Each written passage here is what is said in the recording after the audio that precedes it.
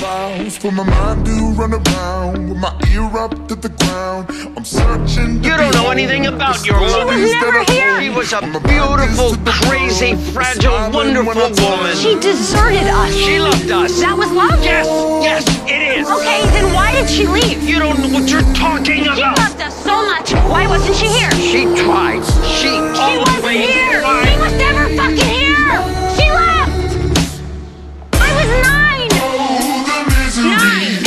care of you. Everybody wants to be my enemy. Taking care of all of us. I was in fourth grade, dragging your ass, passed out in from the yard so you wouldn't freeze to death. Staying up all night with Ian when he had chicken pox. I washed Carl's shitty diapers. I picked lice out of Liam's hair. And I was here when Debbie got her first period, not Monica. Me. Your words up on the wall as you're praying for my phone.